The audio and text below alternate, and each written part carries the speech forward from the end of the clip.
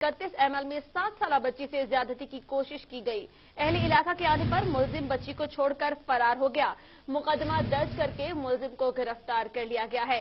یہ افسوسناک حادثہ پیش آیا ہے کلور کوٹ میں، جہاں پر اکتیس ایم ایل میں سات سالہ بچی سے زیادتی کی کوشش کی گئی اور اہل علاقہ کے آنے پر ملزم بچی کو چھوڑ کر فرار ہو گیا۔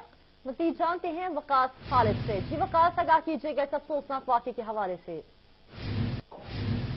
جی بالکل، یہ کلور کوٹ کا نوائی علاقہ ہے، تیس ایم ایل، اور یہ واقعہ گزشتہ روز پیش آیا جہاں پہ کشف نامی جو بچی ہے، جس کی عمر چھ سال بتائی جاتی ہے، اس کا کہنا ہے کہ میرے ساتھ زبردستی کرنے کی کوشش کی گئی ہے لیکن شور ولولا کرنے کی وجہ سے پھر وہاں پہ کافی لوگ اکٹھے ہو گئے ہیں۔